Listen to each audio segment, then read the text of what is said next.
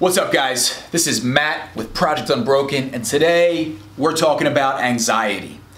Before I get into this, please make sure to like this video, share this video, and subscribe to our channel to keep up to date with all things recovery related. Thank you.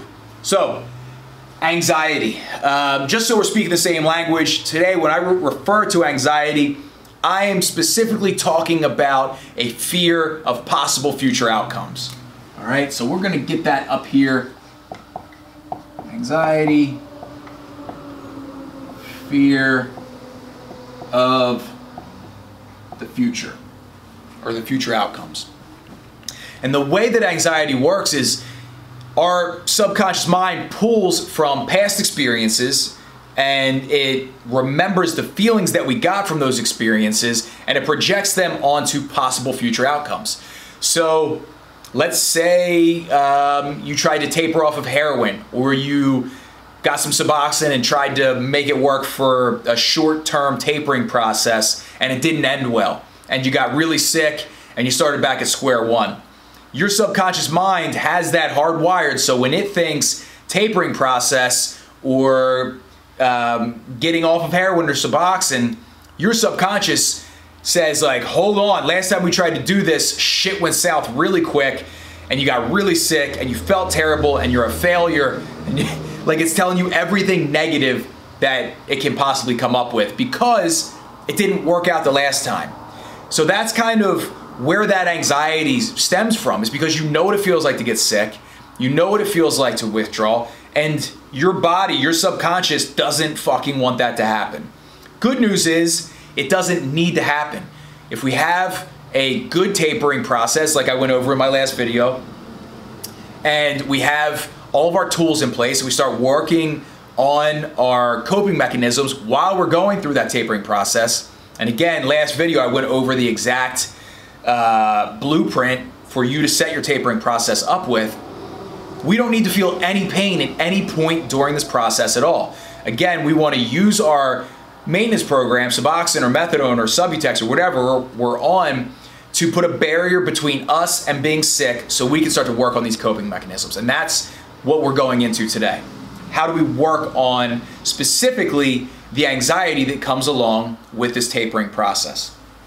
So, again, maybe uh, for instance, let's say you're at your just starting your tapering process, um, or maybe you're even halfway through and you start at 16 milligrams and you know the bigger the doses you're at it seems like you can make more comfortable jumps. So say you know halfway through we're down to six milligrams a day. We're going through the the same blueprint that i went over in my video my last video and we're, we're six milligrams and next in two weeks you're cutting down to five milligrams. And you're thinking about that and you're like i wonder if i'm going to feel sick when i get down to five milligrams. I wonder if i'm going to get sick a month after that when I cut down to four milligrams. I'm probably definitely gonna feel sick, or at least some symptoms when I get down to two. But shit, like in in June, I'm gonna be completely off. Like I'm probably definitely gonna be feeling sick because I'm not gonna have any chemicals to help me feel better. Like I started this on 16 milligrams. How am I gonna be all the way down to zero in June? And our mind just runs this program out of control, and it takes all those familiar feelings from the past experiences with tapering or withdrawal or being sick or whatever negative emotions we have tied to that experience and it projects it on what is coming to pass for your future. But there's that's un, it's unreasonable to think that way because now you have a tapering process in place that has been proven to work. So, how do we fight this? How do we quiet our mind down and say like, hold on a second, like before those voices start to spin out of control, let's see if we can get a grasp on this. And the best way to do that is to stop thinking about the future, stop worrying about the future, stop living in the future, and bring yourself to the present moment. And this we can do in a couple different ways, but this is where we want to live as much as we can, is in this present moment. So what happens when we're able to bring ourselves into the present moment, and I'll tell you how to do that in a second, is we feel exactly where we're at right now. And we're in the present moment. And right now, assuming everything's going well with the tapering process, you're like, well, right now, I don't feel sick. I don't have cold sweats. I'm not, I'm not, you know, showing any signs of withdrawal. Right now, everything's okay. Good. That's probably, or that's not probably, that's what's going to happen when you get to four milligrams. As long as you stick with the pro- proper tapering process, the feeling's not going to change. Like you're going to always feel okay. Where people get completely derailed is when they're thinking about this a, a future event that's not going to come to pass. But they're so concerned about possibly feeling a certain way here that it screws this up. And this is where we are always. We're always right here unless our brain goes to this future tense and we start living in the future where you know it, it, it's it's not happening. It doesn't there's no reasonable explanation for why we are freaking out here about this. Especially when right now we feel okay.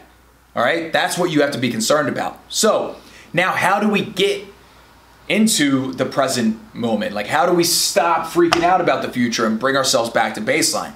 That's where your mindfulness techniques come in. And there's a couple of them here that I think are really effective, especially when you're in the moment where your brain is kind of racing out of control. There's a few ways to start to bring it back in. And what's really important about this is the more you do these techniques, and when you feel yourself getting into this anxiety state, when you're freaking out about the future, and you bring yourself back to the present, every time you do that, you're putting a brick in the wall. You're strengthening your ability to never deal with this. So, of course, over time, the more you do it, the easier it gets. And your ability to start to feel these thoughts coming on, you'll catch them way earlier and be able to utilize these techniques to be like, all right, nope, let's tamp it back down. Until you get to the point where you're not concerned about this at all because you're so used to living right here and in the moment where you feel fine that you don't want to go to this place anymore. All right, so the ones that I use, and there's a lot of different ones out there. Um, the one that has helped me the most and especially in, when I need the help immediately, is my breathing techniques. And this one I'm going to go very specifically with.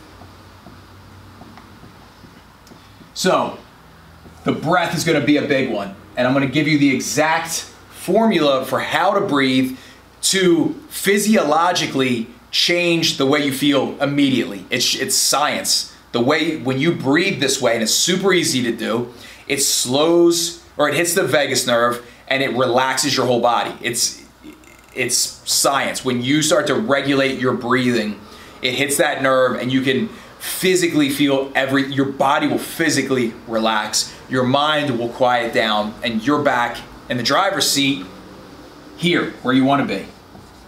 So, to do this when you feel these feelings of anxiety coming on,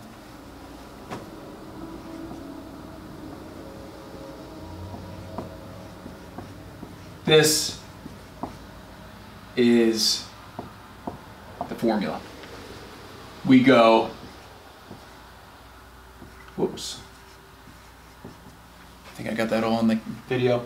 Um, when you feel this coming on, immediately breathe five seconds in with a five second hold, five seconds out, and run through that three or four times, and you are going to immediately feel better. So, five seconds in, Five seconds hold. Five seconds out. And repeat. It's going to slow your heart rate down. It's going to bring your oxytocin levels up. It is going to drive your cortisol levels down. That's the stress hormone. And physiologically, your whole aura is going to shift. You're going to relax. Your mind's going to quiet down and you're gonna be back in control of your thoughts. All right. Then we realize, all right, I'm back here.